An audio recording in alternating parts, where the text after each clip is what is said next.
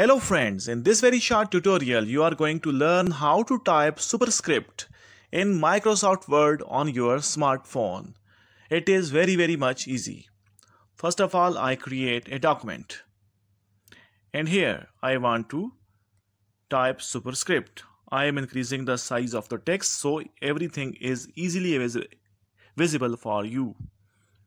Now I type X and I want to type 2 as its power. So I will type 2 then I will select 2 then I will click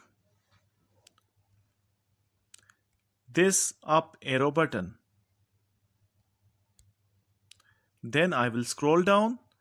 And here you can see the option of more formatting I will click more formatting and then you here you see the option of superscript I will type it and here you can see that 2 has been typed as a superscript of X so this is how you can type superscript in Microsoft Word on your smartphone or your Android phone. If this video helps you in any way, please subscribe my channel and hit the like button.